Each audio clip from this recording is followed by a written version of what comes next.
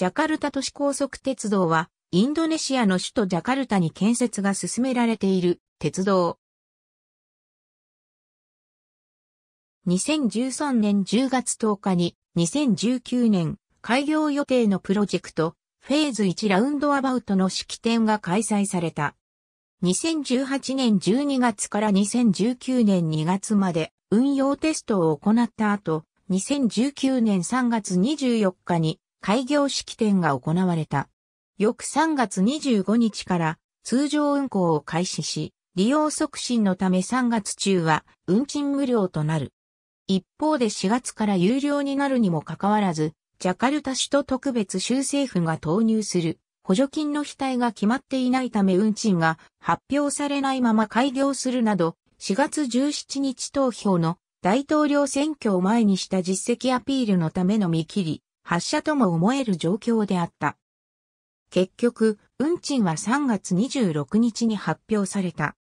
ジャカルタ首都特別州政府が出資する、ジャカルタ MRT 社が運営する、インドネシア初の地下鉄である。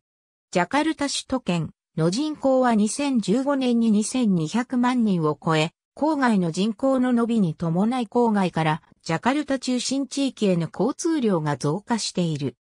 一方で、ジャカルタ首都圏の交通は著しく道路交通に依存しており、深刻な交通渋滞とそれに伴う大気汚染が懸念されている。そこで、都市高速鉄道システムの建設による旅客輸送力の増強によって交通渋滞や交通環境の改善が期待されている。工事は日本の円借款による事業であり、多くの日本企業が参画したが、MRT 側の不合理な払いしぶりがあり、各企業は軒並み赤字を計上することとなった。第一期工事は予定した時期に本体工事を終了させて開業することはできたが、第2期工事については、リスクの高さから入札見送りを表明する企業もあり、開業時期などは予断を許さない状況となっている。自動券売機導入の経緯2015年3月3日に南北線向けの6両編成16本、計96両を住友商事と日本車両製造が共同で受注した。この車両は日本の官民が連携しアジア向け輸出促進のために策定された都市鉄道システムの標準仕様ストラスやに準じた仕様でインドネシア向けとしてはインドネシア鉄道公社日立電車以来約20年ぶりの日本製新造鉄道車両の輸出となる。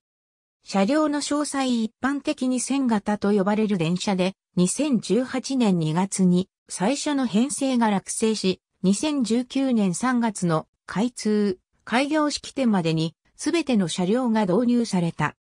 編成は以下の通りである。